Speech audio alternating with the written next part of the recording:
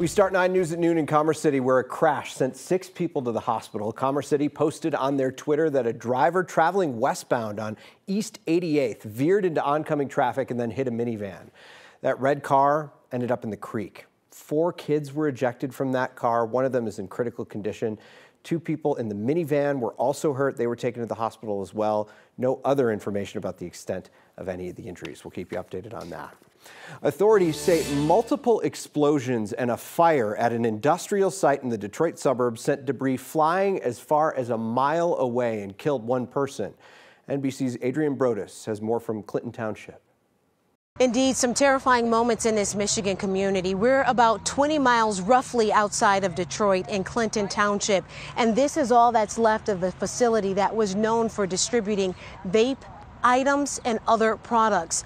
Containers containing butane like this were flying through the air as well as shrapnel. The fire chief here telling us a 19 year old male died from his injuries. What caused the fire is still unclear, and what led to those explosions also under investigation. We know a firefighter was also injured, but he suffered minor injuries and is expected to recover right at the start of this fire, a big concern was the air quality. But a hazmat team was out overnight and earlier in the morning, and the air quality is safe, according to the fire chief. There was a lingering smell of smoke, but that has started to dissipate. We will keep an eye on this story throughout the day. Back to you. Broaddus reporting. Thank you.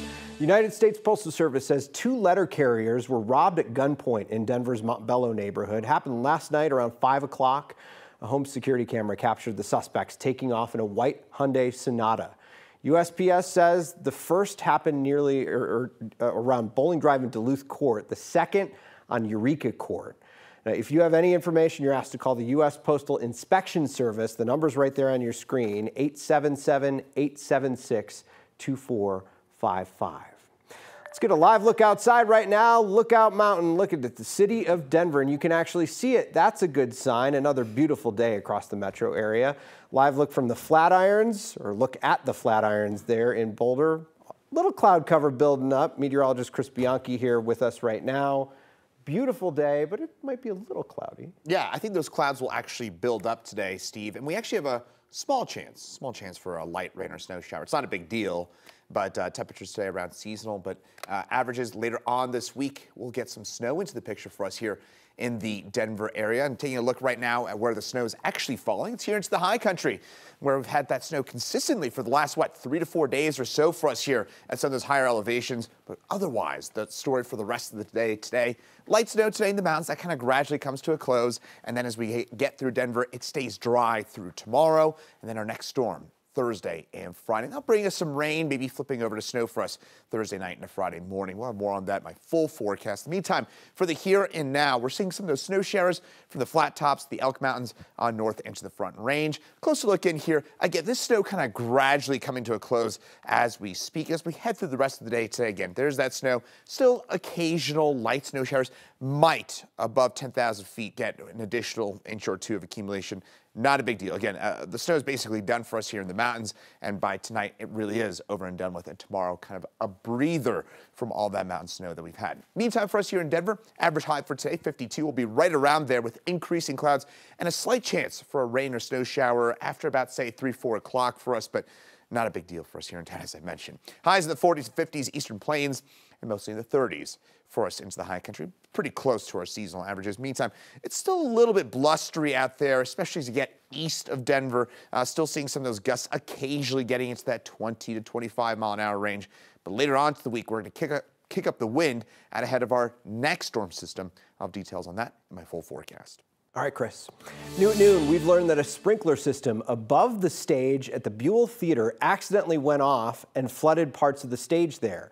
Hairspray and water, they don't mix, so tonight's performance of Hairspray now canceled, and the DCPA tells us they will reach out to ticket holders to let them know.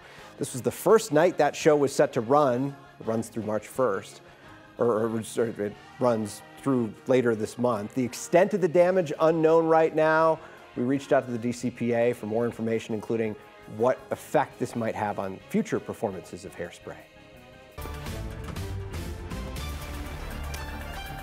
It's the Schnazzy Super Tuesday intro. Right now, voters in 16 states, and including here in Colorado, are voting in presidential primaries across the country.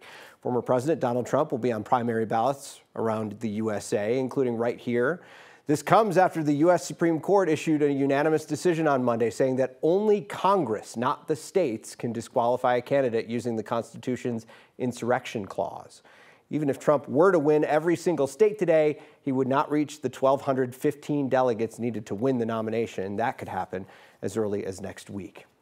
Here's a map of states voting today. It is called Super Tuesday because more delegates are at stake today than any other single day during primary elections. And when the polls close, we will be tracking Super Tuesday as the results start coming in. You can follow all of the updates and more coverage on Super Tuesday on air and online at 9news.com. And just a reminder, if you haven't mailed in your ballot, it's too late to do so, but you can drop it off by 7 o'clock tonight. We have a list of locations where you can do that on 9news.com. Tonight, you can also join Lester Holt, Savannah Guthrie, and the NBC News team for live results and analysis of Super Tuesday. Coverage starts at 8 o'clock right here on 9 News. And we will start our local coverage this afternoon at 4 with Tom and Kim. Marshall Zelinger will be on next with Kyle Clark starting at 6 o'clock. Well, if you tried to get on Facebook or Instagram this morning and you couldn't, you're not alone. But good news, most, if not all, people are now back online. According to Meta, this was a technical issue, and according to a company statement, that issue has been resolved, service has been restored to users. Around half a million Facebook users reported issues logging in or accessing the site this morning. Some users found that they'd been logged out of their Facebook accounts. Others got notifications on Instagram that, quote, something went wrong and their feeds couldn't load. Threads and Facebook Messenger also went down. People convicted of shoplifting in Aurora could go straight to jail under a new ordinance making its way through City Council. The ordinance has already passed its first reading. It would require jail time for anyone convicted of retail theft at $100 or more. The first offense would be a mandatory minimum of three days in jail. The second offense, 90 days. The third, 180 days. A business owner who's been dealing with shoplifters hopes that this passes. We want our customers to feel safe when they come in. And uh, having a law that gives consequences immediately helps us do that. So, and if it does this much, I'm great. If it does this much, I'm better. Aurora City Council member Alison Coombs is against this idea. She says that studies show it won't stop people from reoffending, especially if police aren't solving these crimes. Seems like we're going to be putting a lot of resources into something that is unlikely to be effective and no amount of sentencing is going to change that people don't think they're going to get caught. This ordinance passed its first reading again, 7 to 3. It'll have its second reading next week at City Council.